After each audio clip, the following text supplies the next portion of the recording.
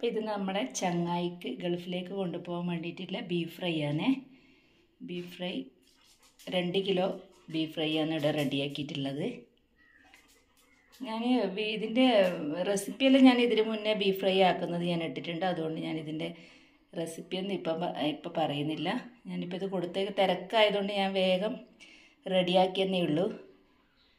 അപ്പം ഇതാണ് നമ്മുടെ ബീഫ് ഫ്രൈ.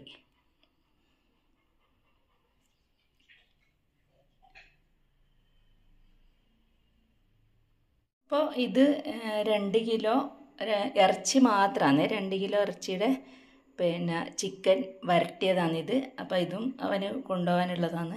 രാത്രിയാണ് ഫ്ലൈ ഫ്ലൈറ്റ്.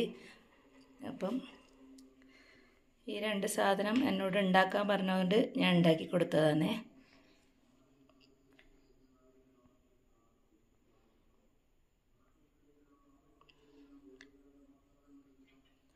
അപ്പോൾ അടുത്ത നല്ലൊരു വീഡിയോയുമായി വീണ്ടും വരുന്നതുവരേക്കും.